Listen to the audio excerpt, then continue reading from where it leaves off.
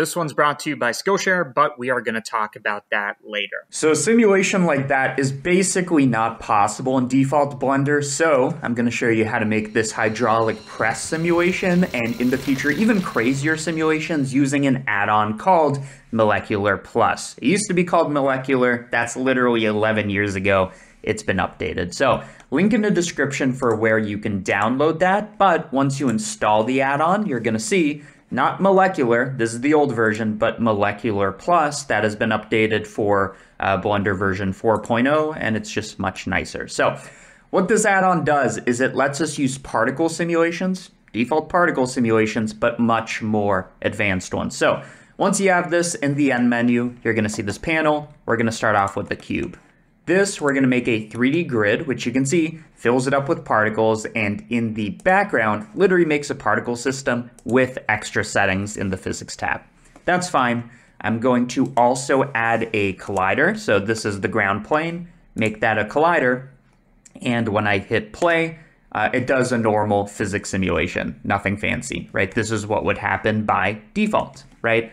And uh, this is a collision object, right? Super simple. So the beauty of molecular is it has these four buttons. These are what matters. This first one lets particles interact with each other such that when I now hit simulate, it's going to do a new kind of simulation. This is a molecular simulation. And you can see now the particles actually respond to each other. This is something that's not possible in a default Blender. And then basically the second button that matters is this one. This is called linking, which lets particles attach to each other until they break apart. So now if I click particle linking, I click simulate, this actually stays as one chunk such that when it plays, it's kind of like a soft body. It holds its rigidity. And these are settings that we can mess with over here for the links, okay? So all I need you to know is that particles can bounce off each other and they can link to each other. So if I now put this over here for starting, and I make a hydraulic press. So for me, that's going to be a cylinder. But you could do it with whatever, because really, you might already expect this. All we're really doing is turning this, if I can do it, uh, into a collision animated mesh. So I'm going to keyframe this here. Let's say over 50 frames, it goes down and squishes this. And then 20 frames later, it goes up. So this is our animation, right? Make that a collider. And then all we need to do, of course, it's not going to look good off the bat. Uh, but then make sure to hit the simulate button over here now. Um, this isn't going to give us the exact results we want right out of the bat. That's what this tutorial is about, how to like get better settings. But you can see, like super simple. It's already making this somewhat hydraulic press animation, okay?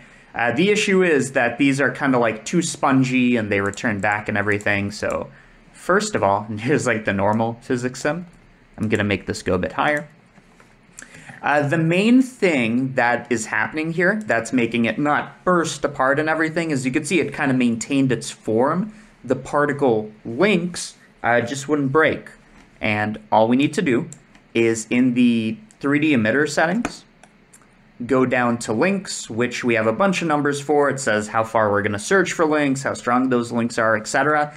Go to broken. Broken tells you how hard is it to tear apart a link so that they can now be free. The higher the number, the more impossible it is. So now if I reduce it to something like 0.2, and again, I hit simulate here, I don't just click play, that'll make that happen. I click simulate here, now what we're going to see. Now, by the way, um, you're going to see that when we simulate, it adds more frames to our um, timeline. This is just so that it does sub-stepping. Uh, but you can see now it actually tears apart. This truly excellent tutorial is sponsored by Skillshare, the number one place to learn things, whether that be photography, videography, or I guess like totally like unrelated skills. And while yes, you can just browse the huge catalog and just kind of like watch a course from beginning to end and learn stuff, but now there are learning paths where you more so pick a topic and there is more so a sequence of courses in a flow. So one of these type of paths that might be relevant to you as somebody that watches this channel is the Start Your Freelance Video Editing Career Path, which will not only show you, you know, how to edit, but how to find your voice through editing, why you would make certain decisions. The second course you are going to find in this learning path is hone your visual style, discovering and developing your editing style. Some things that Ryan talks about is before you're even getting into your edit, what kind of inspiration are you looking for and what kind of mechanisms, like kind of a mood board is one of these, can you develop to kind of like funnel what it is you're going to do before you even start. So when you are ready to join Skillshare, I have a link in the description that you can click, and the first 500 people who click that link will get a one month free trial of Skillshare and more tutorial. Doesn't look great, but it does tear apart. And I can pause the simulation, you can actually resume it, and when you're done with it, current cache to bake, which will let us play this back smoothly. So, boom, hydraulic press uh, animation, nothing crazy. How do we make this look more interesting without getting like in the weeds here? Well, not only can we make like the particles easier to break, but we don't need to make it so that each particle is as strong or each link is as strong as another. So take the random brokenness and let's make it like 30% or something. Uh, this will make it so it's not such a clean break in half kind of thing, unless that's what you want. Okay. Uh, I'm just going to save this. I'm going to call it advanced press. And this is going to be available, I misspelled it, but this is going to be available on Patreon with the cache in here. So it doesn't matter if you actually have the uh, simulation molecular plus or not. Um, but okay, uh, we have made this simulation. Well, I guess we haven't re-simulated it with our randomness. So free all bakes, simulate again. Um, the less sub steps you have, the faster it's going to be, but the less ac accurate. So let's just play that. And okay, it still kind of splits in half, but there is more interesting things going on here. Okay, so generally I'm happy with this, but before we like turn this into a thing that we render, uh, one or two things I want to change. I want the hydraulic press to go lower, so it squishes it even more so it goes even further down. We can actually hide this 3D emitter, just like we could hide a particle system. And then we can enable it. Um, it's very fast, the, the solver, which is impressive. Um, so like I said, a couple things I want to change. I want this collider to have different properties. So I want to increase the, or maybe decrease the friction so that it's a smooth metal and it can kind of slide around it. And uh, in the reverse, uh, for the floor where the particles are eventually going to settle, I don't want them sliding around, so I'm going to basically maximize friction and dampening and maybe stickiness such that when they fall, they have a minimal amount of bounce, but they kind of stay there and they don't slide. Final thing is uh, we can actually, so we've kind of been seeing what this looks like. Again, make sure to hit the button simulate, but uh, we know what this is looking like, and now we could say, let's see what it looks like with more particles. So you want to start off small, refine your look, and then kind of go more advanced here. So I'm going to divide by 1.5. The smaller this number, the more particles you have. So this is the before, right? And this is the after. And you're going to see that reflected over here. This says how many particles are in the system. Uh, the total is what it was before. So again, if I multiply by 1.5, these numbers basically sync up. Divide by 1.5. Uh, whenever these numbers are incoherent, they're not equal to each other, hit refresh because we're going to have these sub steps, how long it takes to simulate, automatically refresh. So now uh, you can see our sub steps are equal to 12. Why did it go from 8 to 12? Well, if you think about it, I made our voxels 1.5 times smaller. I divided by 1.5, so we have more voxels, so we need to simulate for longer. So now we take 8 and multiply it by 1.5, which is exactly what gives us the number 12. Okay, um, other things I should mention, you can actually randomize the uh, size of these uh, voxels, which you're not going to see in viewport, but will, will actually happen in a simulation. But I think I'm happy with this. I think final thing before we simulate is this only happens for like 70 frames. uh, the animation. So I don't want this to last any longer than 100 frames. And now that this is 100, right, and our sub steps are equal to 12, if I hit simulate, you think it multiplies it by 12, but I guess it adds 12 times more frames, which is why it's 1300 instead of uh, 1200. But this thing is so fast, you can literally like look around uh, the viewport while it happens. And you can see it's doing a pretty good job at compression. On the bottom, it's getting a little glitchy, uh, which is something uh, you can resolve by having more substeps or actually changing some of these collision settings that we didn't talk about. But this is just a basic tutorial uh, because I want to talk about uh, Molecular Plus more in the future because it's a great add-on and it's free and I didn't know it existed up until now. Um, but I feel like the hydraulic press is a quick way to get good results without doing like anything. So we're gonna let that settle. And it seems like basically nothing's happening up until this point. So maybe when it gets to frame 80, I'm gonna pause it. I'm gonna make it a bake. So it's actually like, you know, a, um, how do I want to say this? It's a blend cache that we don't need to calculate. It's just there and we can preview it quickly. I'm going to make this go until frame 80. And let's see what this looks like at speed. So I click play and boom. Again, you can get more detail by making the voxel size smaller. But here's a cool feature about Molecular Plus. I'm going to hide the light and the camera. Cool feature about Molecular Plus is when you're done with your simulation, uh, you kind of don't want to view it as this, what we call a halo particle system. Uh, what I mean by that is if we go to these particles and go to the render settings, again, under the hood, it's just manipu manipulating a particle system. So you can change any particle settings over here and it will actually affect things, especially if you set this to emitter instead of 3D grid. But uh, we could view this as a halo, as objects, by the way, for objects, you could have something like Suzanne over here. And then to view that, I wonder if we could just instance Suzanne. Yeah, we can.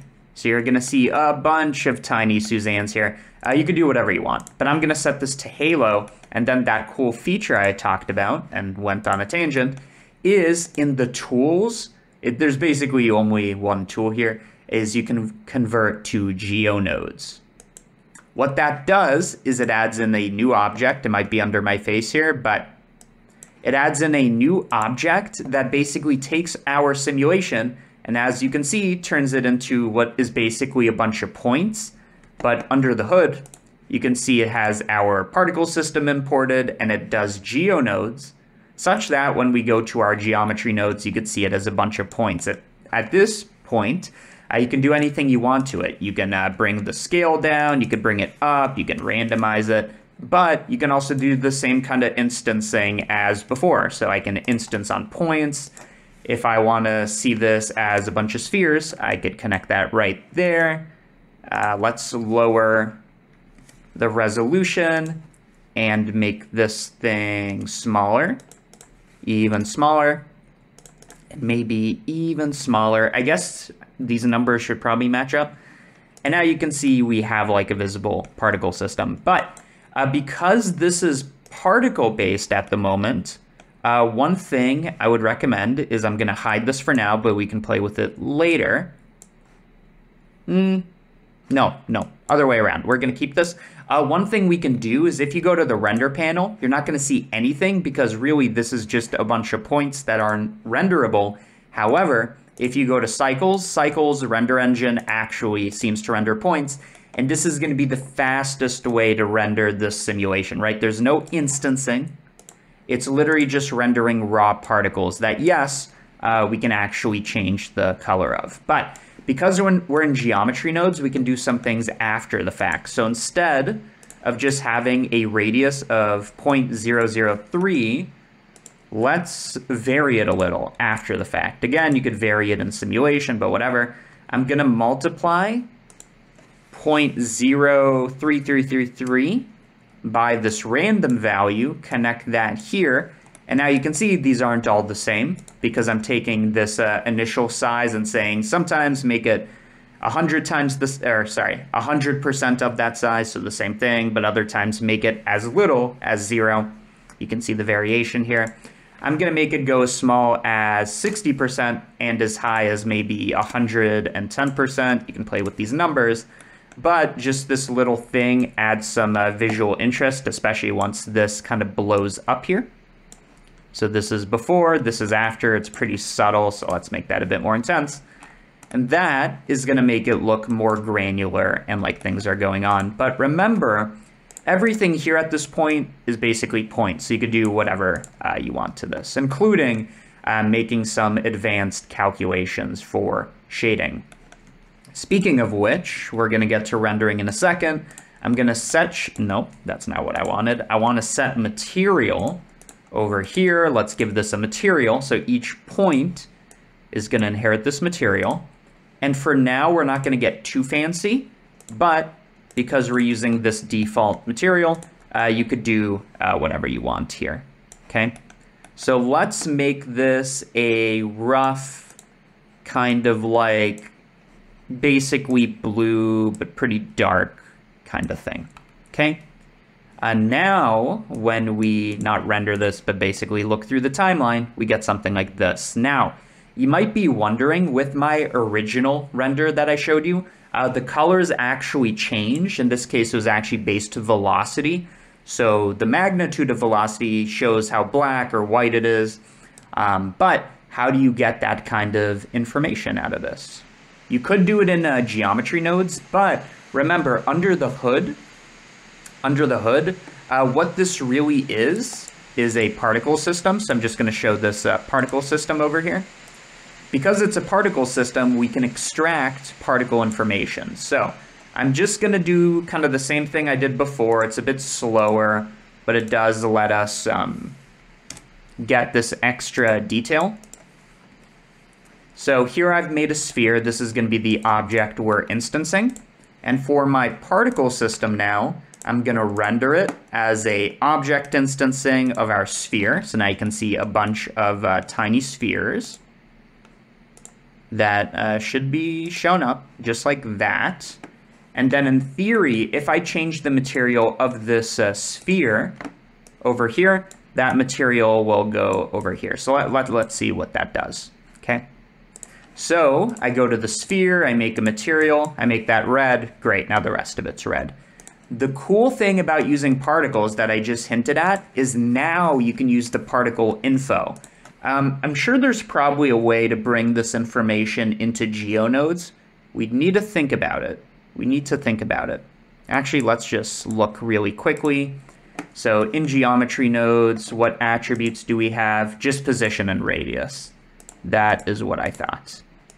And if we just look at the base geometry, yeah, we don't get much else. So uh, for now, we're going to use this new method where, where Again, uh, what we change this material by shows up. But this particle info gives us a bunch of details, like can we pick a random thing for each particle? Can we pick the location or the velocity? This is what's actually going to be useful to me. Um, and the velocity is basically showing, you can see it's flickering. It shows what direction the particle is moving in in every single frame. You also have angular velocity, which I believe is where you can store UVs if you wanted to but I'm just going to store velocity. And by the way, if you don't want to see this original cube here, uh, you can hide the emitter and make sure to also do that in viewport so you don't see it. Uh, my shader was basically the velocity. What I did is I took the magnitude of it, so I don't care about the direction, but just how much velocity there was. And you can see as this slows down, it kind of gets a bit more black although it does flicker a bit, uh, which I kind of resolved by, um, well, first of all, by making it a BSDF, so the shading kind of like blends together a bit, as you can see. Uh, but I also use some anti-flicker effects in uh, DaVinci. Uh, but you can do anything you want to this after the fact, right? I could send this through a color ramp where black goes to red for low velocity and white goes to green for high velocity and you can get something like that. But for my render, I just kind of use this raw input over here. And that's kind of the essence of it, really. So I just kind of set up a camera, which I can find over here. I set up a camera, which I made a one by one aspect ratio, zoom out, so we can actually see the whole frame. And you can see how easy at least the simulation step was here. This really is kind of like the beginner's um, simulation. And let's actually, for the render, I'm going to bring up this floor so you can't see it in the background. Maybe also give it a bit of a bevel, shade smooth. I'm just going to set up my camera here. I'll be done with it in a second, don't worry. So the camera, I don't want to see anything outside the viewport, so passepartout, or inside the uh, thing. The most important thing, by the way, I should mention for this is uh, when you render, what's going to really kind of give it that oomph is uh, make sure to enable motion blur, which is perfectly, it works perfectly, right, uh, with point rendering. Points are really good at actually rendering motion blur. So let's just render a frame to make sure this works. We'll do 200 samples. We'll set it to OptiX. Let's do a render. And because it's not many particles, it's not going to take too long. And you can see that very nice motion blur. Again, to get a more granular sim like I had, you um, you basically uh, have more particles. But that is basically how I did the hydraulic press simulation. So I'm going to make the original file with the um, more particles going on uh, available on Patreon, which should just have a cache um, zipped with it. We'll see how I do it. Uh, but yeah, make sure to join Patreon to uh, get blend files for literally $5 you get. Not just this blend file, uh, the good one, but everything I've made over the last four years, right? All of it's on Patreon. You could get that for a dollar. You get early access to tutorials, including this one. And yeah, that is it. Hydraulic press.